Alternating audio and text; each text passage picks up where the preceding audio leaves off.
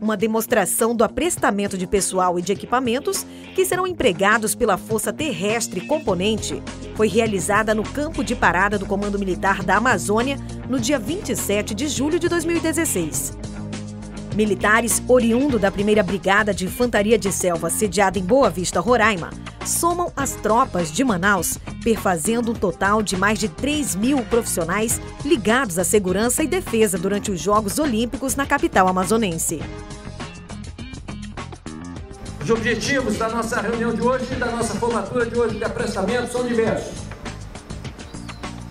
Um deles é dar oportunidade ao comandante da FQC de ver todos os seus meios, todas as suas capacidades e ter a tranquilidade de saber que a tropa está na mão em condições de cumprir qualquer missão.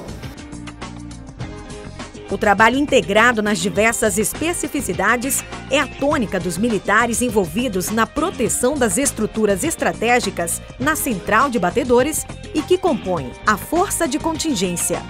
Uma demonstração de força que demanda mais de dois anos de planejamento.